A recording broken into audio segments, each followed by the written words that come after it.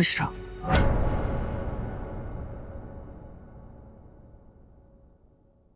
अच्छा भाई तुम बताओ।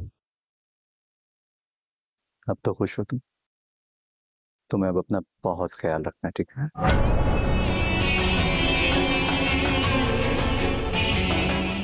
और अब कोई भी काम हो तो कम्मों को बोल देना ठीक है? तुम्हें बेड से उतरना नहीं है।